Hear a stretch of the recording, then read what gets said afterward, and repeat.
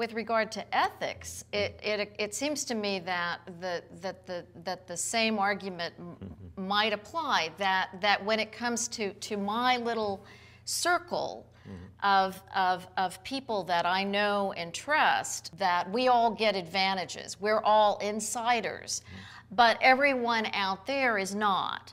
Everyone else is an outsider. So that when when Goldman Sachs, for instance, um, and this is just one of many, many, many examples, right. bets some of its clients um, against other clients, those clients that are at a disadvantage, which included in the Abacus deal included, you know, pensioners and, and many people who needed the money. Those were the outsiders and didn't need to be concerned with, with them, whereas our insiders got the advantages. And I think that is, is a, a, a, real dynamic in, in American society today, and not only in the United States, of course. Mm-hmm. Um, so so it, it runs the gamut. I mean, we see this dynamic, I'm afraid, in, in arenas from, you know, healthcare to um, homeland security to finance to foreign policy. Um, and we see it in, in, in some of the top power brokers um, who, who, who are elites. Right. You named several of those top yeah. power brokers in various fields, but particularly. Mm-hmm. You know, in politics, you're mm-hmm. you're relentlessly bipartisan. you yes, get you get both absolutely. Democrats and Republicans, yes. and and and uh, I, I, you know names that crop up in your book are Robert Rubin, Larry Summers, Tom Daschle. Mm. Uh, Christine Todd Whitman, uh, Michael Chertoff, uh, you know, it, it's Bill Clinton. Uh, are you saying, let me put this bluntly, are you saying these people are cor- corrupt? Well, what I'm saying is that um, their activities are so. So let me just say a few things about what I call the new corruption, which is a violation of public trust, um, which is which is more greed, what we might call greed corruption, as opposed to the the need corruption that that we started off talking about. So, so are they are they corrupt? Well, part of the issue is that there's an information problem.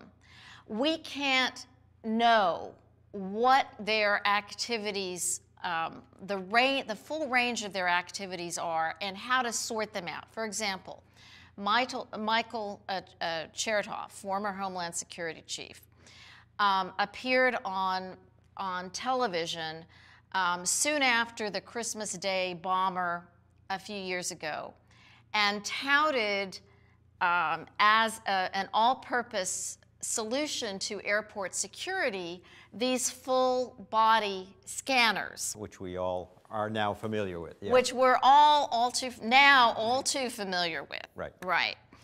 Um, and at the time, he was, he was represented as former Homeland Security Chief, as a neutral, impartial expert. The reading and listening public did not know at the time that he had um, a license to manufacture, his company had a license to manufacture, the only license at the time to manufacture these scanners. So it's an information problem. We, the public, don't, we can't, we can't know and, and, and, and we don't know the full range of activities, and therefore we don't know how to sort out their true agendas. So this is different than the classic corruption. I put something in an envelope, leave it on your desk. Uh, and I think this is what you're saying is that the old sort of measurements of corruption that, for instance, Transparency International, right and the World Bank uses right. no longer really measure the new new phenomena. That's right, because this kind of corruption is much more elusive. It's much more difficult to detect. It is not a quid pro, pro quo. It's not a simple bribe under the table.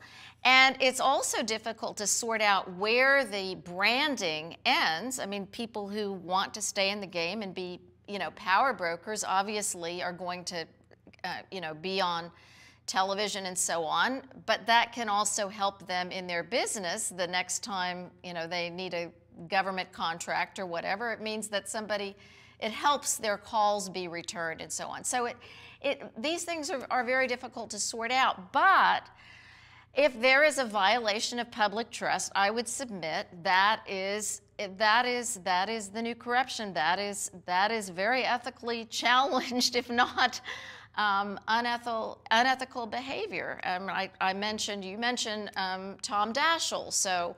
Um, he was what was he doing well he was he was consulting for healthcare companies on certain issues at the same time that he was providing supposedly impartial advice to the president and to people on Cap- Capitol Hill in the run up to the health care reform bill. There's mm. no quid pro quo, and this is far more elusive activity. Um, but is that not a violation of, of, of, of public trust? And is there not an information problem here for, we, for us, the public?